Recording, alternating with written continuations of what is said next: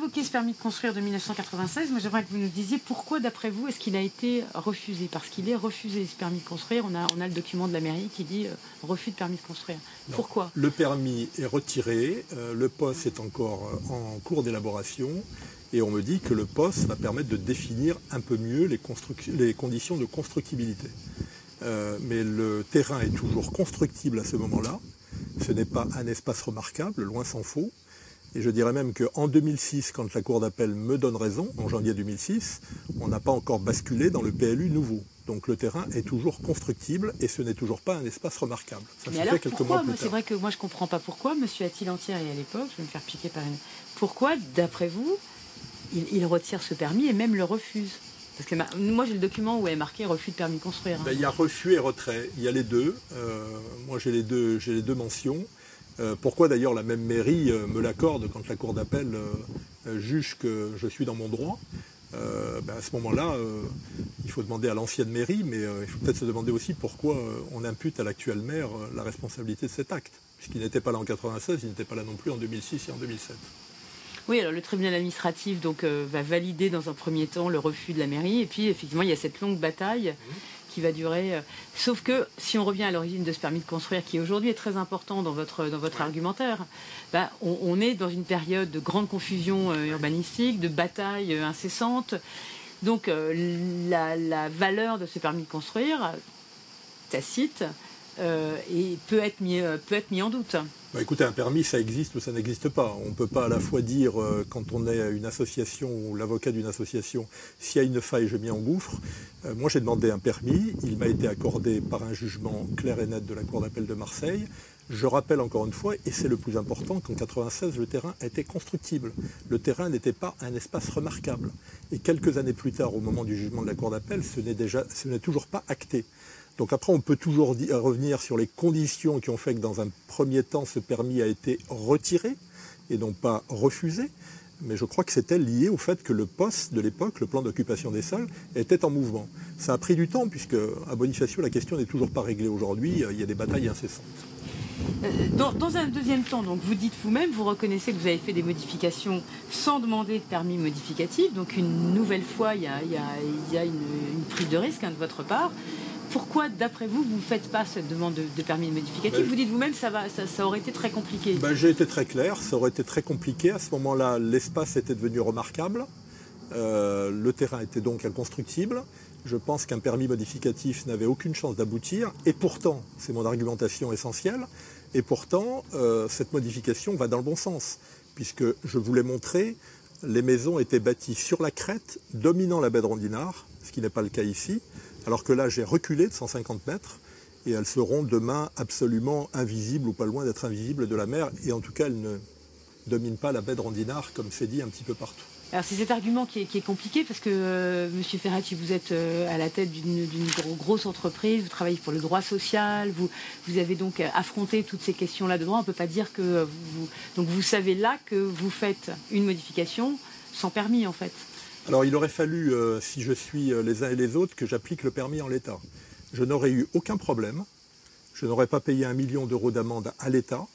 Euh, la prise juridique des associations aurait été faible. Elles auraient sans doute attaqué quand même pour des raisons de principe. hein. Elles en ont parfaitement le droit.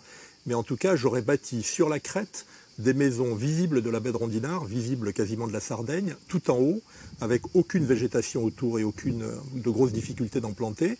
Si euh, j'avais fait ça, je pense que j'aurais atteint l'environnement euh, de façon euh, absolument déplorable. Il y avait eu une erreur de positionnement des maisons, j'ai essayé de la corriger, mais je reconnais qu'effectivement, j'ai pris ce risque-là parce que le permis modificatif ne serait pas passé du tout. Et on m'aurait obligé de respecter le permis en l'état, ce qui est une aberration.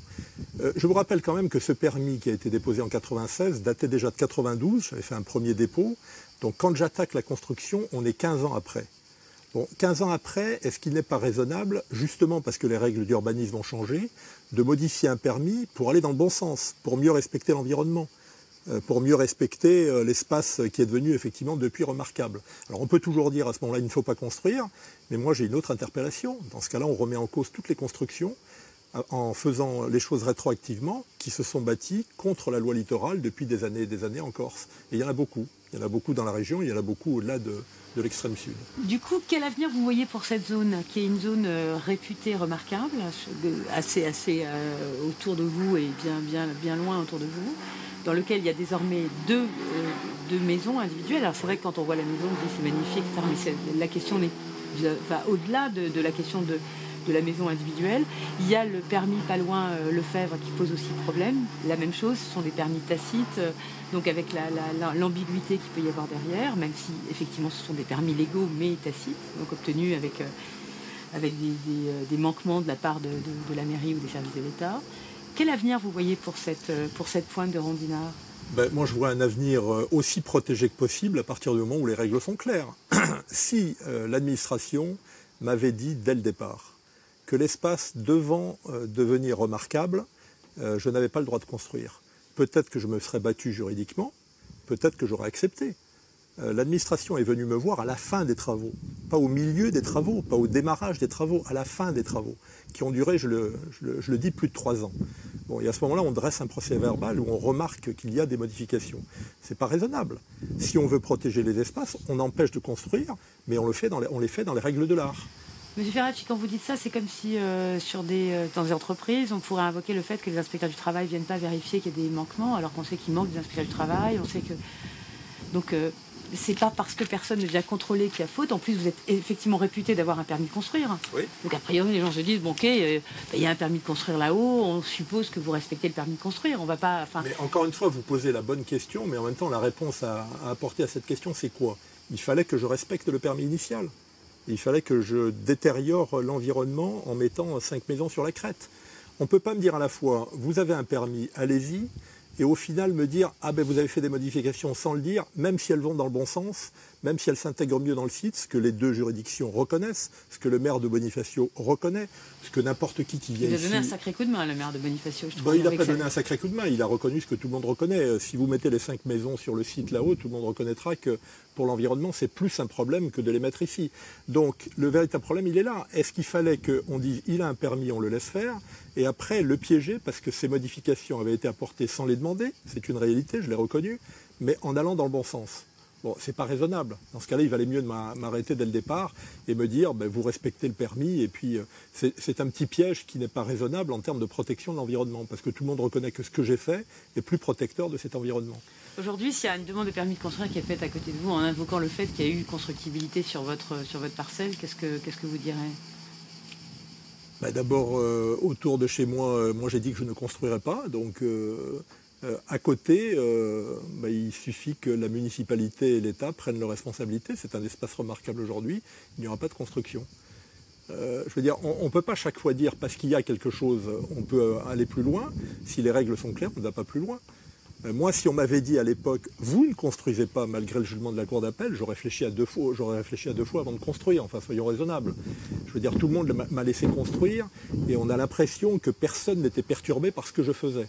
Bon, au final, par un grand mystère sur lequel il faudra bien se pencher un jour, on a attaqué tout à la fin. Et boum, ça a été euh, l'explosion avec des choses qui me dépassent très clairement. Euh, non, l'explosion médiatique, je ne parle pas d'autres explosions, on n'en est pas là.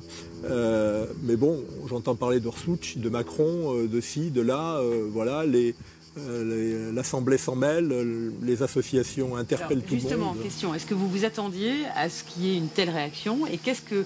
Donc vous répondez par des courriers. En attendant, il y a un appel à, à réunion, à rassemblement euh, le 30 juillet à, à, Il y a des pétitions qui courent il y, a, eu des prises de position. Est-ce que vous-même vous avez essayé de joindre les présidents de l'Assemblée et de l'exécutif? Vous avez euh, comment est-ce que vous allez vous sortir de ce de, ce, de cette, euh, je, pense que les choses vont s'apaiser, que tout petit à petit va rentrer dans l'ordre. Moi, je pensais que le jugement d'appel calmerait le jeu. Il y a quand même deux jugements qui me donnent raison quand même, qui confirment effectivement que l'intégration est meilleure dans le site, que les modifications vont dans le bon sens. C'est écrit noir sur blanc. Oui, mais c'est le problème quand même. Encore une fois, on m'a laissé construire et on a considéré que j'avais un permis. Donc il y a eu une ébullition. J'ai vu que les deux présidents de, l'Assemblée prenaient position. Je n'ai pas de jugement à porter sur ce qu'ils ont fait. Euh, tout le monde prend position. Je trouve que c'est de la démesure. C'est de la démesure, très franchement. Je Je veux dire, ce n'est pas une atteinte à l'environnement ce que je fais ici. Euh, il y a une ambiguïté peut-être au démarrage avec un espace qui n'est pas encore remarquable, qui n'est pas encore euh, inconstructible. Moi, j'ai un permis parfaitement valable. Encore une fois, je le modifie pour de bonnes raisons qui sont reconnues. Donc je pense que tout ça va se calmer, que les choses vont rentrer dans l'ordre. Il y a des enjeux pour l'environnement en Corse qui sont bien plus redoutables que les deux maisons que j'ai construites. Au bout de toute une vie professionnelle, entre parenthèses. Hein. Je n'ai pas, pas commencé à faire ça à 30 ans ou à 40 ans. Oui, d'accord. Donc, vous comptez sur le fait que ça s'apaise tout seul Vous avez... mais bien sûr que ça va s'apaiser, mais je fais le nécessaire pour que ça s'apaise. je suis ouvert au dialogue, j'essaie de discuter avec les uns et les autres, j'essaie de convaincre. vous regardez d'ailleurs ce que j'ai écrit euh, en réponse à votre confrère du Monde, c'est aussi respectueux de certains combats des associations que j'ai moi-même appuyés, que je suis prêt encore à appuyer. Je trouve que là, c'est démesuré et on ne peut pas comprendre ça s'il n'y a pas d'autres enjeux. On ne peut pas comprendre la mise en cause de Jean-Charles Orstouk qui n'y a strictement pour rien. Encore une fois, il n'était pas là s'il n'y a pas d'autres enjeux. Quant au relais, avec, euh, quant à la relation avec le président de la République, euh, c'est tellement médiocre, ça n'a pas convaincu la justice d'ailleurs, même si maître Busson a fait un non, par contre, sur la responsabilité, euh, sur la responsabilité du maire et des maires, oui, il y a quand même la, Cour a quand même noté un certain nombre d'éléments qui, qui, mettent en, qui mettent en cause la responsabilité du maire, qui est, qui est responsable de son service d'urbanisme, qui est donc il y a une, en dehors du lien avec Macron, dont je vous accorde que... Bah, il y a, peut-être... Euh, oui, enfin, le maire n'était pas là quand le permis a été accordé, ça c'est une réalité. Le maire n'était pas là quand le permis a été déposé, le maire n'était pas là quand le permis a été accordé. Il faut au moins reconnaître ça, Jean-Charles Orsouch. Mais le maire était là quand les travaux ont eu lieu. Comme vous dites, il n'y a pas eu de contrôle jusqu'à la fin. Euh, et puis le maire fait un courrier dans lequel, d'une certaine manière, il explique qu'il aurait pu ne pas le faire. Donc c'est-à-dire qu'il vient valider. Euh, ah, le pauvre maire, lui aussi, il porte beaucoup de chapeaux. Non, hein, mais bon, c'est objectif. Moi, j'ai euh, des, relations. on, a, on est allé voir le maire, il nous a expliqué la situation hier, il a un point de vue, mais c'est vrai que la Cour relève aussi ça. Donc c'est vrai qu'il y a une implication des maires dans les, dans les questions. Je me demande si dans l'esprit de la Cour, il n'y a pas une petite confusion sur euh, la transition à la municipalité. Encore une fois, Jean-Charles Orsouch n'était pas là au moment des décisions essentielles. Ah oui, la, Cour fait cette erreur-là. D'ailleurs, si j'ai lu le, la décision. J'ai l'impression que c'était lui qui avait pris la décision de donner le... Il n'est pas là à ce moment-là, il était élu en 2008. Et la journaliste du Monde, en fait, qui a travaillé en, sur la base. Non, pas côté copier mais au moins, au moins c'est une journaliste qui est allée voir la, décision de la décision de la Cour d'appel. Et elle, est, allée voir le, chantier aussi quand elle dit que les, constructions sont en cours. Et elle est allée voir le chantier quand elle dit qu'il est vierge de toute construction. La maison, vous la voyez dès que vous arrivez. Et elle est allée voir euh, le chantier. Non, je pense qu'il y a du. Euh, moi, je reconnais que vous faites un bon travail ici. Vous venez me voir. La journaliste du Monde a appelé les deux avocats. Le mien avait ordre de ne pas trop parler. Elle a appelé les assos, elle ne m'appelle pas. Vous savez, c'est quand même. Si elle appelle euh, les avocats, c'est qu'elle vous appelle. Ah non, non, non. Elle a appelé les deux avocats, Busson et le mien. Elle a appelé les assos, c'est pas moi.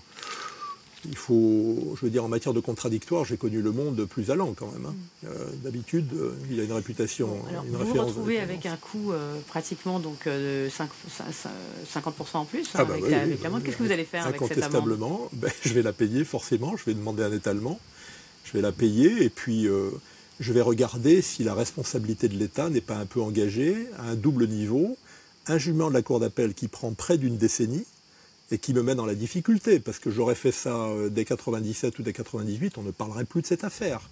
Peut-être que les associations auraient attaqué quand même. Enfin, euh, elles auraient eu moins de prise incontestablement. Et la deuxième chose que je reproche à l'État, c'est euh, les services de l'urbanisme ont laissé faire pendant des années donc considérant, je suppose, que le permis n'était pas parfaitement valable, je suppose que le chantier n'était pas clandestin, hein, il était public, et puis à l'arrivée, elles viennent me dresser un procès verbal parce qu'il y a eu des modifications. Si ces modifications avaient consisté à faire plus grand et plus laid, j'aurais compris. Euh, je sacrifie 30 euh, à 40% des surfaces constructibles et j'intègre mieux les constructions dans le cycle. Je trouve que tout cela n'est pas très raisonnable et euh, euh, j'aurais aimé que la position euh, de l'administration soit un peu différente, c'est le moins qu'on puisse dire. Donc vous réfléchissez à attaquer en fait la décision de l'État? Si ça a du sens. Je ne suis pas sûr que juridiquement euh, ça n'emmène pas très très loin. Et c'est une bataille qui commence déjà un petit peu à me fatiguer, pour être clair. Donc je vais voir. Mais en tout cas, je pense que la responsabilité. Il y a beaucoup d'hypocrisie dans ce dossier. Moi, j'ai au moins, je pense, l'avantage de dire ce que j'ai fait, d'assumer ma responsabilité. Je n'ai pas attaqué l'amende, même si elle est très lourde, parce que je reconnais que j'ai fait une modification sans la demander. Enfin, qu'on me reconnaisse au moins euh, à la fois l'origine de cette modification et la conséquence de ce que j'ai fait ici. Ça, protège mieux l'environnement que si je ne les avais pas faites. Mais alors, donc, si vous attaquez l'État, c'est pas pour remettre en cause l'amende, c'est vous. Non, l'amende elle est acquise, malheureusement. l'amende, je n'ai pas fait appel en première instance. Donc l'amende, je vais être amené à la régler, hein. je n'ai pas d'autre choix que de le faire. J'espère que l'État m'accordera quelques échéances et que je n'aurai pas à la régler euh, d'un seul coup. En même temps, la leçon, euh, la leçon morale de cette histoire, c'est qu'effectivement, on reconnaît dans la, Cour reconnaît qu'il y a non-respect euh, du, permis de construire, donc il y a des constructions qui ne sont pas conformes, et demande le versement d'une amende d'un million d'euros. Bah, ça veut dire quoi? Que quand on a un million d'euros, même si on l'a pas d'ailleurs, euh, avec étalement, etc., et ça suffit donc pour, euh, pour construire. Alors, vous avez un jugement un peu partial, si je peux me le permettre, parce qu'il y a beaucoup de jugements euh, qui n'ont pas demandé de démolition, qui n'ont pas aussi été assortis d'une amende aussi élevée.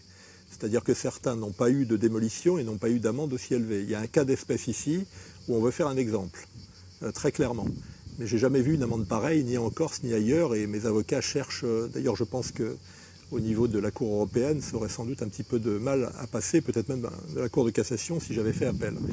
Euh, donc il y, a, certains endroits où vous n'avez ni action en justice, ni demande de démolition, ni amende. Donc c'est aussi comme ça qu'il faut poser le problème. Pourquoi ce ciblage-là? Pourquoi cet euh, acharnement sur ce cas d'espèce? Il y a quand même des choses qui dépassent le problème de l'urbanisme et le problème de la protection de l'environnement. Autrement, on ne comprend pas. Je vous en cite beaucoup des cas où il n'y a pas eu d'action en justice, où, à plus forte raison, il n'y a pas eu de demande de démolition, et il n'y a même pas eu d'amende de ce type. Donc moi, moi j'ai droit aux deux pour l'instant. J'ai droit à des associations qui demandent la démolition et un État qui me condamne à, à, une amende. Vous avez essayé de rencontrer les associations ou pas? J'ai essayé, mais elles se refusent pour l'instant à toute rencontre. Donc je le fais par des intermédiaires qui font passer des messages. Mais ça, c'est un autre sujet d'ailleurs. Pourquoi les associations refusent la discussion? Pourquoi elles la refusent s'ils n'ont pas presse interposée? Moi, je suis ouvert au dialogue, hein, vous le voyez. Hein. Je n'ai rien à cacher, y compris de mes propres responsabilités. Euh, quand je fais une erreur, je le dis, je suis prêt à la payer. Je trouve que l'amende est exorbitante du droit commun. Mais bon, après tout, euh, j'ai pris un risque un peu, inouï. Euh, en tout cas, ce n'était pas pour des raisons spéculatives. Autrement, j'aurais fait plus de surface. Et c'est ce que je dis dans l'article du Monde, ces maisons ne seront jamais vendues ce euh, sera ma résidence principale d'ici deux ans, à partir du moment où je prendrai un peu de recul sur le plan professionnel.